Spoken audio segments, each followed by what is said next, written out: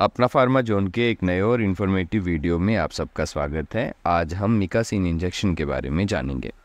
जानेंगे यह किस क्लास का ड्रग है, यह कब दिया जाता है, कितनी डोज में दिया जाता है मार्केट में यह कौन सी स्ट्रेंथ में उपलब्ध है किन किन परिस्थितियों में हम इसे नहीं दे सकते हैं और इसके साइड इफ़ेक्ट्स क्या हैं।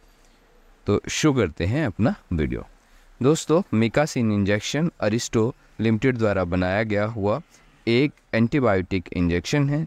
इसके अंदर अमीकासिन नाम की एंटीबायोटिक दवाई प्रेजेंट होती है, जो कि एक अमाइनो ग्लाइकोसाइड क्लास का ड्रग है। यह दो एम का इंजेक्शन आता है, जिसकी एम आर पी एक सौ तेरह रुपये सेवेंटी फाइव पैसा है। यह ब्रॉड स्पेक्ट्रम एंटीबायोटिक है, जो कि ग्राम नेगेटिव बैक्टीरिया द्वारा फैलाए जाने वाले इन्फेक्शन को ख़त्म करके बीमारी को ठीक करता है। मार्केट में यह और भी विभिन्न ब्रांडों में उपलब्ध है, जैसे मीका स्टार, मैनकाइन का, एमी स्टार, एल्कम का। आपके अपने क्षेत्र में अलग अलग ब्रांड उपलब्ध हो सकते हैं, लेकिन सभी में जो दवाई है वो अमीका सिन ही होगी। दोस्तों, यह 100 M G, two hundred fifty M G, five hundred M G की स्ट्रेंथ में आता है। यह दो एम का इंजेक्शन होता है। हर एम में एक एम में 250 mg अमीकासिन दवाई मिली हुई होती। अब डोज की बात करते हैं।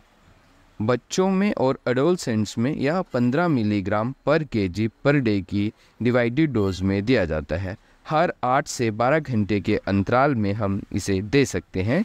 यानी बच्चों में यह दिन में तीन बार दिया जा सकता है। यह इंट्रामस्कुलर यानी आईएम और आईवी इंट्रावेनस दोनों प्रकार से दिया जा सकता है। बात करें अगर अडल्ट की तो अडल्ट में भी यह 15 मिलीग्राम पर केजी पर डे की डोज में इन टू डिवाइडेड डोजेज में दे सकते हैं। डोज कैलकुलेशन की बात करें तो अगर हम एक किसी का वज़न 60 किलोग्राम है तो 15 milligram into sixty K G is equal to nine milligram 900 milligram हमने दो डिवाइडेड डोज में पेशेंट को देना है।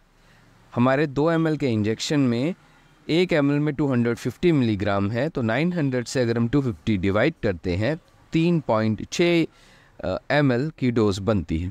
तो हम अपने पेशेंट को 3.6 एम की रिक्वायर्ड डोज देंगे। इन्फेक्शन यानी लंग के इन्फेक्शन में इंट्रा एबडमनल इन्फेक्शन जैसे टाइफाइड फीवर में निमोनिया जैसे इन्फेक्शन में बैक्टीसीमिया में सेप्टिसीमिया यूरिनी ट्रैक्ट का इन्फेक्शन जैसे मूत्राशय का इन्फेक्शन हो गया, पेशाब में जलन हो रही हो, पेशाब में पस आ रहा हो बोन इन्फेक्शन में जॉइंट के इन्फेक्शन में सीएनएस इन्फेक्शन यानी कि हमारे दिमाग में सेंट्रल नर्वस सिस्टम का इन्फेक्शन हो, जिसे हम मैनेंजाइटिस कहते हैं रिस्पायरेटरी ट्रैक्ट का इन्फेक्शन हो स्किन का इन्फेक्शन हो, बर्न हो रहा हो, खुजली वूंड हो रहा हो वुंड हीलिंग में सॉफ्ट टिश्यू इन्फेक्शन ऐसे किसी भी प्रकार का इन्फेक्शन जो कि ग्राम नेगेटिव बैक्टीरिया द्वारा हो, उसे ठीक करने में यह इंजेक्शन दिया जा सकता है। अब बात करते हैं साइड इफ़ेक्ट्स की तो इसके बहुत ही हल्के साइड इफ़ेक्ट्स देखने को मिलते हैं, जैसे हेड एक सर दर्द का होना, उल्टी का होना डायरिया धुंधला दिखाई देना ब्लड विजन जैसे सामान्य साइड इफ़ेक्ट्स देखने को मिलते हैं, जो कि आमतौर पर रिवर्सिबल है। ओवरडोज होने पर यह गंभीर रूप ले लेते हैं, जैसे ओटोटॉक्सिसिटी यानी कि बहरापन हो जाना नेफ्रोटॉक्सिसिटी यानी कि किडनियों का डैमेज हो जाना न्यूरोटॉक्सिसिटी या न्यूरॉन्स का डैमेज हो जाना जैसे गंभीर साइड इफ़ेक्ट्स देखने को मिलते हैं। अब बात करें कॉन्ट्रा इंडिकेशंस की। हमें यह किन के साथ नहीं देना चाहिए। तो यह कुछ ड्रग्स हैं, जैसे फ्रूसीमाइट, जो कि लूप डायूरिटिक है, उसके साथ नहीं देना चाहिए। अगर हम देंगे तो किडनियाँ डैमेज हो सकती हैं। सेफ्ट्राइक्सोन जो कि एक सिफेलोस्पोरिन एंटीबायोटिक है, इसके साथ भी नहीं देना चाहिए। यह भी किडनियों को डैमेज कर सकता है। एस्पिरिन, जो कि एक एनेसेड टाइप का पेन किलर है, इसके साथ भी नहीं देना चाहिए। अगर देना हो तो वज़न का ध्यान रखना चाहिए और किडनियों की निगरानी करते रहना चाहिए। यह कुछ गंभीर बीमारियाँ होती हैं, जैसे माइस्थीनिया ग्रेविस जो कि एक मस्कुलर डिसऑर्डर है, उसमें भी नहीं देना चाहिए।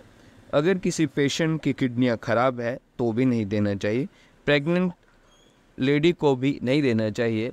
इससे बच्चों में डीफनेस आने की संभावनाएँ हो सकती यह था अमीका सिंह के बारे में। अगर आप लोगों को अच्छा लगा हो तो प्लीज़ वीडियो को लाइक करना शेयर करना और अगर अब तक चैनल ना सब्सक्राइब किया हो तो प्लीज़ सब्सक्राइब ज़रूर करना।